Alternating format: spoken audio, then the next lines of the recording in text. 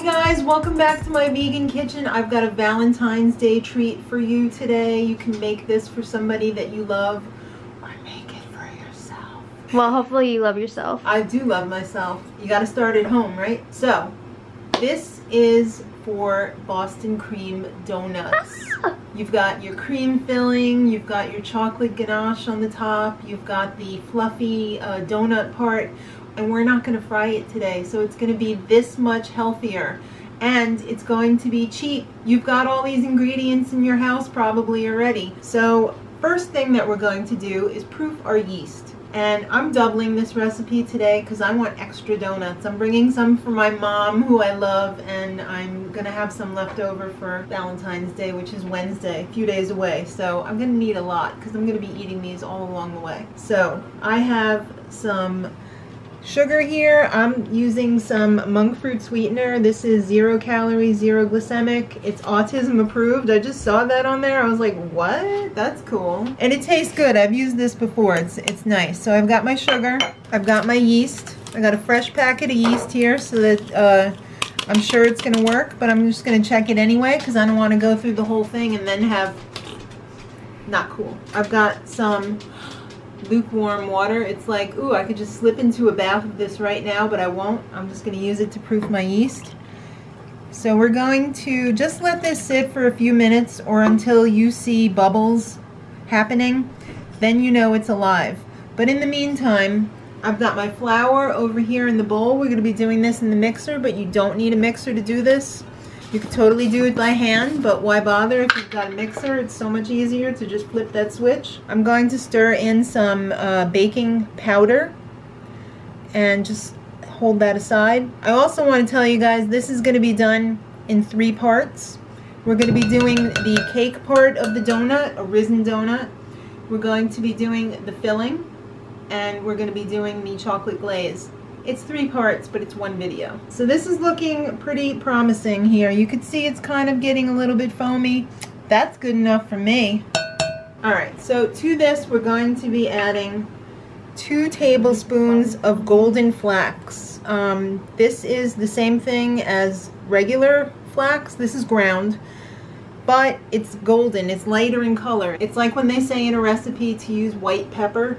It's so it doesn't look like a mouse got in your recipe and made little turds in it. So that's why we're using the golden flax because it's going to be the same color as the donut. It's not going to look like ew. That was that supposed to be in there? It's going to be nice. I'm going to use some olive oil as my oil today, but you can use coconut oil. You could use any kind of oil you want that's not that strong tasting because you don't want it to taste like focaccia. But this is a good one. This does not have a strong taste. Yes, there's a bit of oil in this. There's a bit of sugar, but you know what? It's a treat and not something that you should eat at every meal, so it's okay. I'm just gonna mix this up and then we're gonna take this over to the mixer. All right, we're ready to mix. I've got my uh, bowl on the KitchenAid here. I'm gonna put all of this in. just dump it in. You know, they say sometimes do it a little bit at a time. This one you can just dump it in.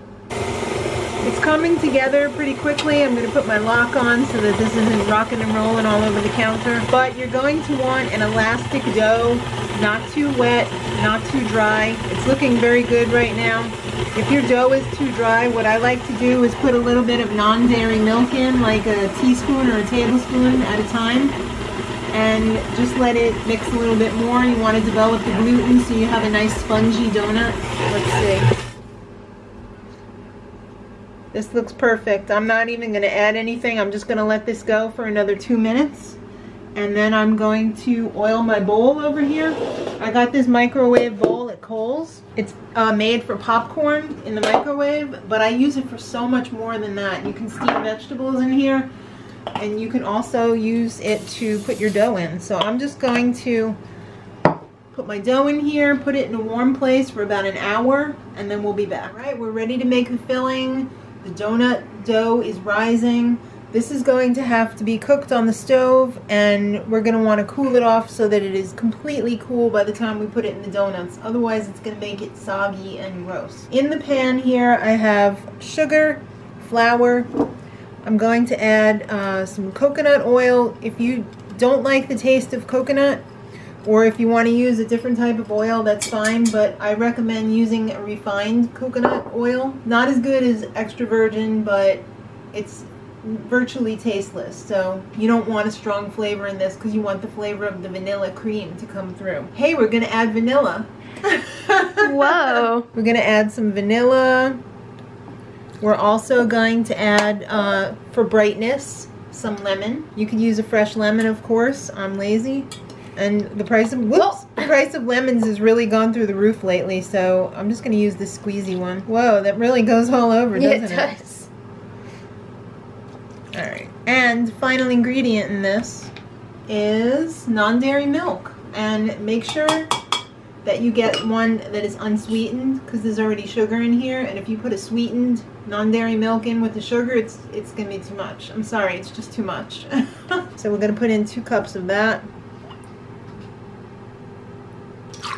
Now, very important, you want to um, whisk this before you add the heat to it because that flour is going to thicken up. And you don't want big lumps of flour in there.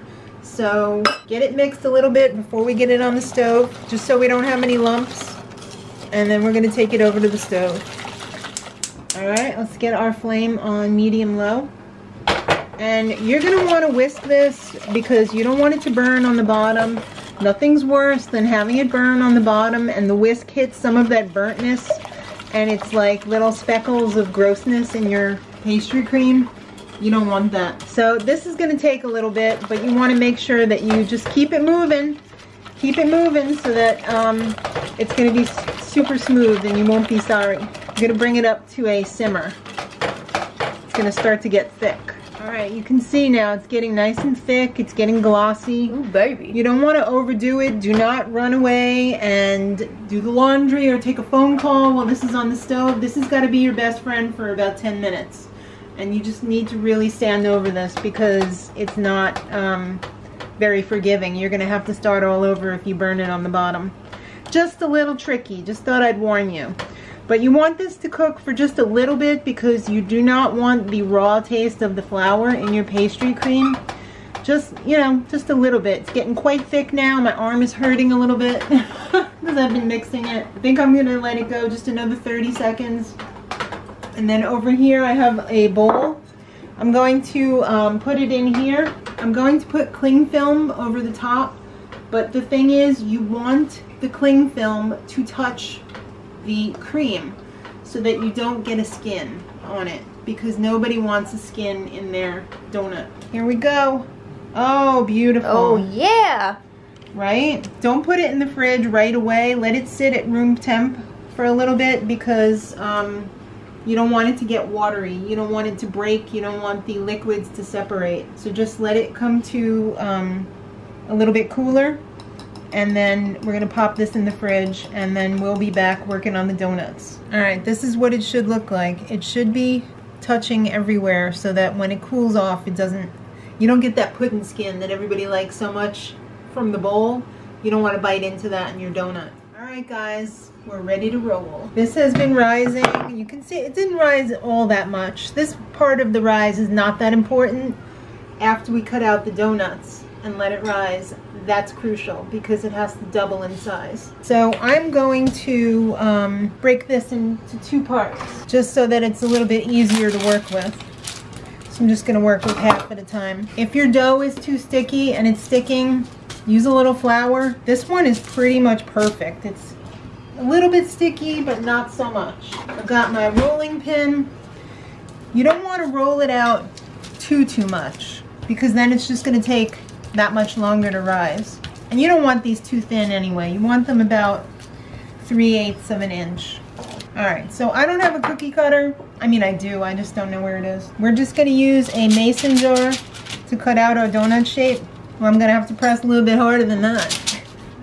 Give it a little twist. Comes right out. We're not doing the hole in the middle because these are going to be filled. If you don't want these filled and you just want the glaze without the pastry cream, you still don't have to do the hole in the middle, but you can, and it makes it look more like donuts. So I have um, some parchment paper on a cookie sheet, and I'm just going to put this on here. We're gonna fill this up and we're gonna let it rise for another hour at least and then we're gonna be ready to bake. Alright guys, here they are all rolled out. I like to give it a quick spritz with the coconut oil or the avocado oil before I let them rise. I put some cling wrap on the top so that they don't dry out. You can't really put a, a warm dish towel on the top because you don't want anything to stick to these. I have an extra, this was the little extra part that was left over. Very important. My dad always told me that that was for the baker. So who's ever making these, you get first dibs on the little irregular one. Right here we are one hour later and all of my donuts have risen quite nicely. I'm going to double up on my pans. I'm going to put like this because I'm going to put it at the bottom of the toaster oven and I don't want the bottom to burn. So I'm just going to heat up my oven to 350 which has been preheating already. And I'm going to pop these in for about 8 to 12 minutes, depending on your oven. So make sure you don't go away and do something. Set a timer because these will go south very quickly. So make sure that you're right on top of it. Just brown nicely on the top, not too light, not too dark. All right, all of the donuts have been baked. These have cooled off and I took a serrated knife and I sliced them almost all of the way through because I don't want to stress out about sticking something in there and filling it. Let's just take the easy way out and slice it nicely, put the cream in, and then glaze it. So now it's time that we're making the glaze. I've got some coconut oil already in here that I had melted. I've got my uh, raw cacao powder. You could use cocoa powder if you don't have um, cacao. I've got my almond milk. I'm to do six tablespoons. So that is a quarter of a cup and then half of a quarter of a cup. This is a little forgiving. It doesn't have to be completely exact because if it's too loose or too tight, just add more liquid or uh, powdered sugar. It should be fine. A little bit of vanilla, of course. And then final ingredient is the confectioner sugar. And yes, there is a lot of it in here. There's three cups. But you know what? This is like fluffy, super fine powdered sugar when it melts down it's like less than three cups but it's three cups measured. So it seems like a lot but you know what? You're only getting a little bit of glaze on each donut so it shouldn't be that big of a deal. So that's one two. Now I know what you're thinking. Oh crap. That doesn't seem like it's ever gonna mix because that's like a lot of sugar but you'll see this melts down by a lot. You're just gonna mix and mix and mix until it's all ganache. Alright, so this seems a little bit tight, a little too thick. So we're to just add the tiniest bit of almond milk. This is to harden up once you dip the uh, donuts in it. So don't be worried that it seems like, whoa, that's really liquidy. That's much better. Make sure you get all of the lumps out. You don't want any lumps of sugar or cacao in there. All right, now we're ready to assemble. Assembly line ready. So let's pull off our wrap. You might want to give this a nice stir just to get it a little bit up to room temperature. All right, so we've got one of our donuts. We're just gonna put a bunch of filling that in there. looks like a lot. Yeah, well, I mean, you want it like a cream puff, right? Know, do you? I do. I like a lot of filling. Nice. Then we're going to, well, I was dipping these the other day, but I think um, it would be much less messy if you just put a little bit on the top and then just did that. Mm. Then we have our tray over here that we're going to put these on. And then it's sprinkle time. That is so beautiful. Doesn't that say I, love, love, you. you. Perfection. Now get the rest of these filled immediately. All right, we've got a donut flyover. Whoa, that is just too much deliciousness all at once, isn't it? Uh, yeah. all right, so Maddie's here to taste the love. I just want to eat all of them, but I also just want to stare at them. Yeah, just take that little They're baby so one. pretty. Oh my god! Oh my god! All right, well, I guess that reaction says it all. Can you hold up so they can see a little wow. cross section of uh, Yeah, I get so sad when I go to like Dunkin' Donuts with my friends and they'll get something and Woo. I'm just like, oh, because it looks so beautiful, but those are not vegan. These are. Yeah. They are spectacular. Well, I hope you enjoy them. Happy Um, Valentine's no Day. That. Happy Valentine's Day. I hope you guys give these a shot. They look really nice. They taste really nice. Where else are you gonna get vegan donuts? I mean, they're easy. So you can you can do it. Give us a thumbs up if you like this type of video. If you make them, let us know.